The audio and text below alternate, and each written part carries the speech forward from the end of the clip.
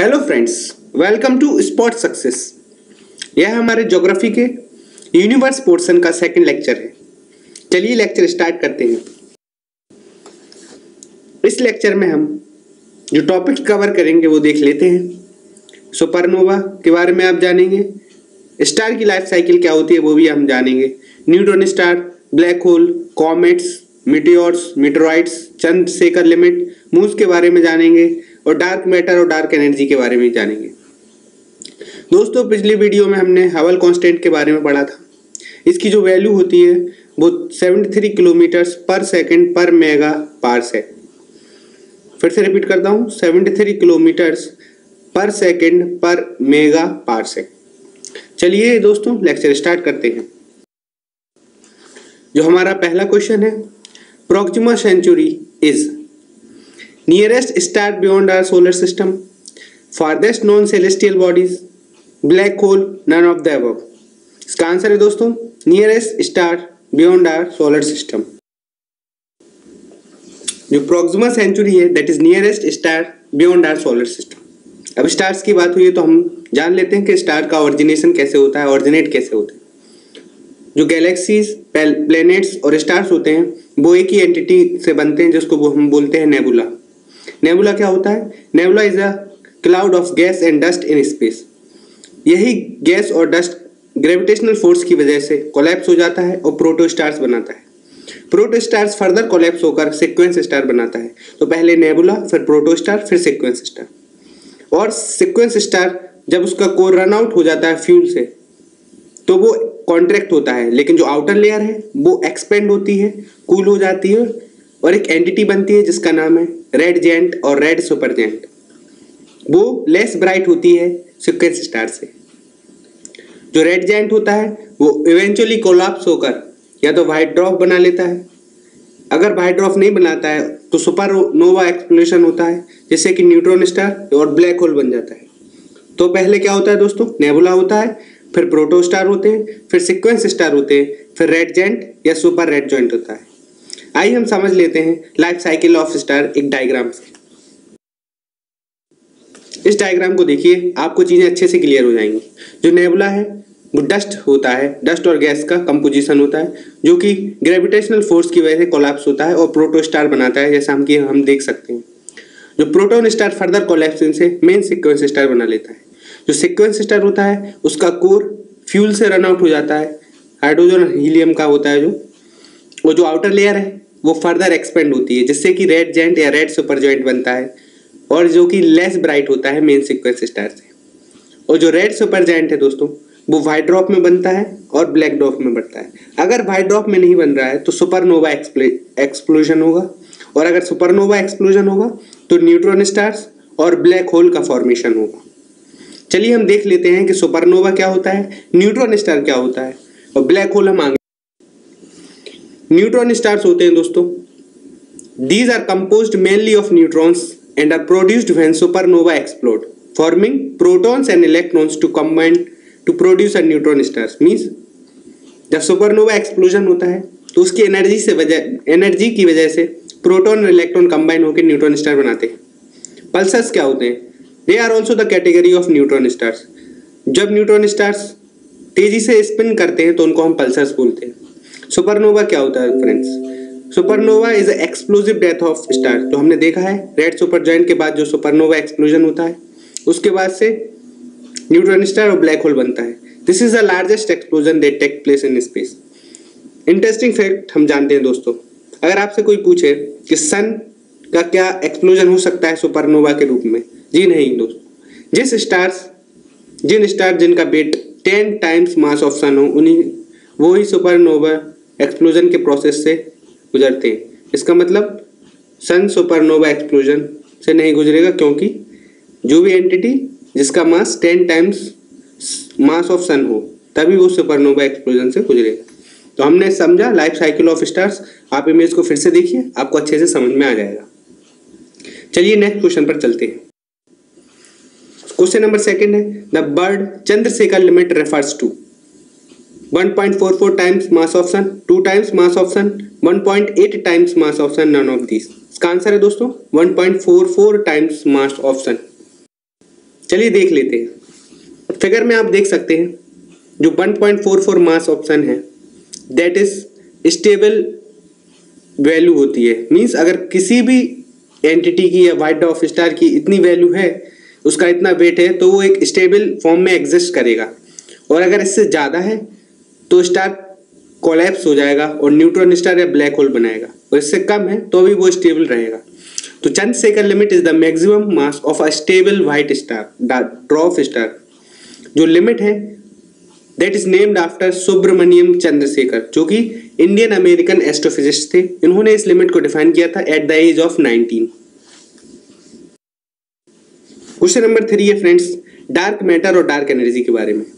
Dark matter is a vast amount of unseen matter that make up the universe जी हाँ दोस्तों सही है statement dark energy is nearly 68 percent of universe this is also correct तो इसका answer होता है C both of them are correct जो 68 percent है दोस्तों ये नासा का डाटा है. इसमें देखते हैं हम ग्राफ आप ए देख ए, ए और बी समझ लीजिए. ए मान लेते हैं हम एंड्रोमेडा गैलेक्सी हमारी और बी मिल्की वे गैलेक्सी है. उधर से समझ लीजिए लाइट रेज आ रही हैं. और बी तक आने से पहले वो डिफ्लेक्ट हो जाती हैं। लेकिन हम ये देख नहीं पाते किस वजह से डिफ्लेक्ट हो रही है। कुछ तो एंटिटी है जो प्रेजेंट है, जो इस लाइट को डिफ्लेक्ट कर रही है। दोस्तों, इसी एंटिटी को डार्क मैटर नाम दिया गया है। डार्क मैटर इसलिए क्योंकि ये अनसीन होता है, इसको देख नहीं पाते हैं। क्योंकि जो इलेक्ट्रोमैग्नेटिक स्पेक्ट्रम है, जो को आपको पता होगा X rays radio waves UV rays visible rays तो जो भी स्पेक्ट्रम है वो इससे इंटरेक्ट नहीं करता है डार्क मैटर से। जब इंटरेक्ट नहीं करता है तो इसको हम डिटेक्ट नहीं कर कर पाते हैं। फिर हमने जाना कैसे कि कुछ, कोई भी एंटिटी इसको डिफ्लेक्ट कर रही है। उसका नाम हमने कैसे रखा? डार्क मैटर जो ये डिफ्लेक्शन है इसको इसको हम बोलते हैं friends gravitational lensing gravitational lensing means जो डार्क मैटर का ग्रेविटेशन होता है, वो एक लेंस की तरह काम करता है और इस लाइट को डिफ्लेक्ट कर देता है। जो कि हम बी से देख सकते हैं मिल्की वे गैलेक्सी से, कि हमको ब्राइट दिखाई देगा ए तो हम समझेंगे कि कुछ एंटिटी प्रेजेंट है, उसका नाम डार्क मैटर रखा गया है। इस स्लाइड में देखिए फ्रेंड्स डार्क मैटर और डार्क एनर्जी के बारे में, जो पाई चार्ट है 68 परसेंट हमारा डार्क एनर्जी है 27 परसेंट डार्क मैटर है, और जो विजुअल मैटर है, जो कि सन प्लैनेट गैलेक्सी और स्टार्स हैं, वो सिर्फ़ 5 परसेंट ऑफ़ यूनिवर्स है फ्रेंड्स आप इमेजिन कर सकते हैं कितना बड़ा यूनिवर्स है हमारा। Most of the universe is made up of dark energy that drives the expansion of universe और जो नेक्स्ट लार्जेस्ट इंग्रेडिएंट होता है, वो डार्क मैटर होता है। चलिए फ्रेंड्स नेक्स्ट क्वेश्चन पर चलते हैं। Question number four the term pohe is related to black hole galaxy star moon इसका आंसर है दोस्तों ब्लैक होल आप देख सकते हैं इमेज में, ये ब्लैक होल की इमेज है, जो कि 11 अप्रैल 2019 को साइंटिस्ट ने डिस्कवर करी है। इवेंट होराइजन टेलीस्कोप के नाम से। आप देखिए टेलीस्कोप जो उसका नाम है इवेंट होराइजन टेलीस्कोप आप जो रेड सर्फ रेड देख सकते हैं जो एरिया उसको इवेंट होराइजन नाम दिया गया है। मीन्स अगर इस इन्फ्लुएंस में कोई भी ऑब्जेक्ट आता है तो ब्लैक होल में वो डेफिनेटली फॉल कर जाएगा। उसकी ग्रेविटी ग्रेविटी से एस्केप नहीं कर पाएगा। ब्लैक होल नाम इसलिए रखा गया है दोस्तों, क्योंकि इससे लाइट भी एस्केप नहीं कर पाती है। इसकी ग्रेविटी इतनी ज़्यादा astronomers have taken first ever image of black hole जो कि हमने देखा which is located in a distance galaxy और उस गैलेक्सी का नाम है दोस्तों M eighty seven M eighty seven उस गैलेक्सी का नाम रखा गया है। The image shown intensely bright ring of fire जो हमने देखा था। जो ब्लैक हेलो रहता है सॉरी जो ब्लैक होल रहता है, उसको ब्लैक होल बोलते हैं फ्रेंड्स उसका ग्रेविटेशनल पुल इतना ज़्यादा होता है कि लाइट भी एस्केप नहीं कर पाती.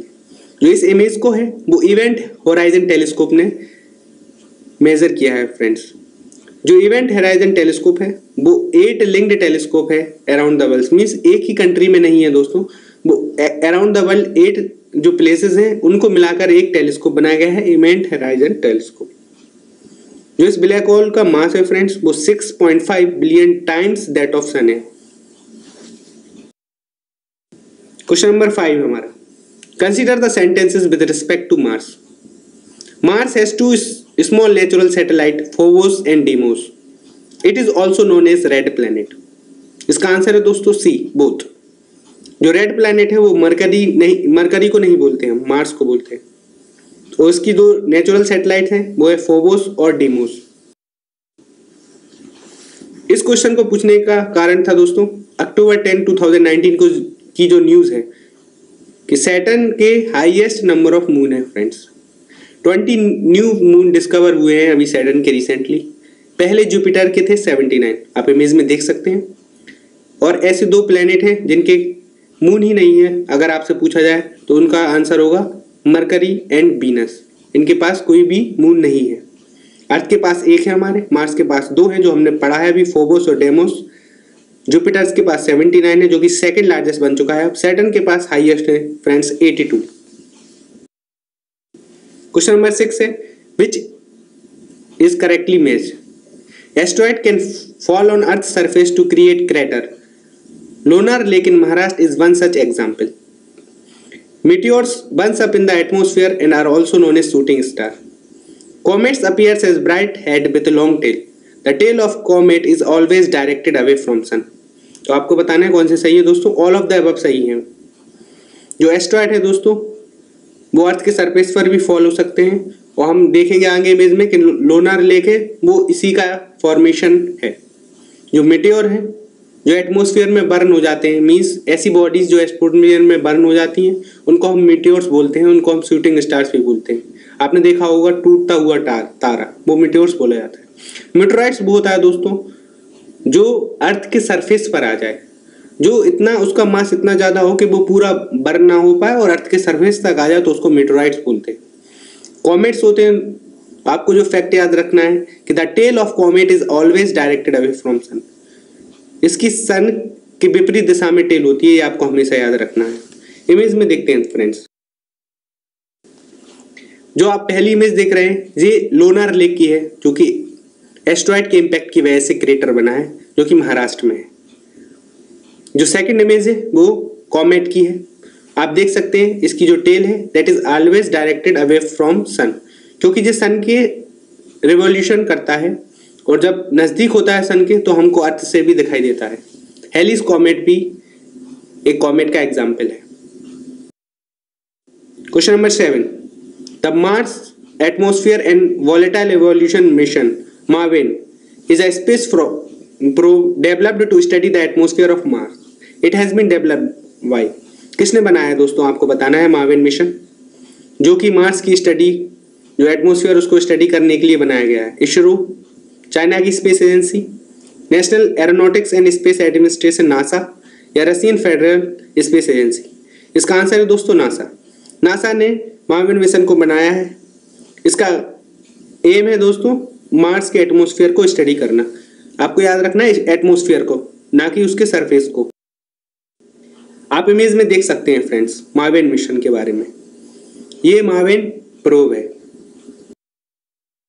क्वेश्चन नंबर एट है। दोस्तों, अगर आपको लेक्चर अच्छा लगता है तो चैनल को सब्सक्राइब करिए लाइक करिए और शेयर करिए।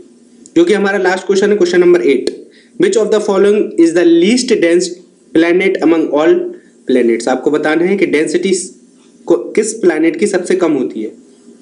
इसका आंसर है फ्रेंड्स सेटन सेटन की डेंसिटी सबसे कम होती है हमारे एट नॉन प्लैनेट्स में। हमारा लेक्चर यहाँ पे समाप्त होता है। Thank you thank you very